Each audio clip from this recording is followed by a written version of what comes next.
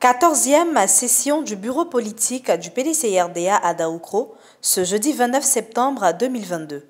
Un bureau politique aux couleurs de la restructuration du PDCRDA. Dès le matin de ce jeudi, les différentes commissions étaient déjà en place et à pied d'œuvre pour la réussite totale de ce grand rassemblement. Disciplinés, les militants s'enregistraient pour avoir accès à la salle. Dispositifs sanitaires et sécuritaires en place pour assurer le confort des militants. Ambiance des grands jours, fanfare aux airs enjoués, ambiance folklorique, chant et danse. L'engouement était total.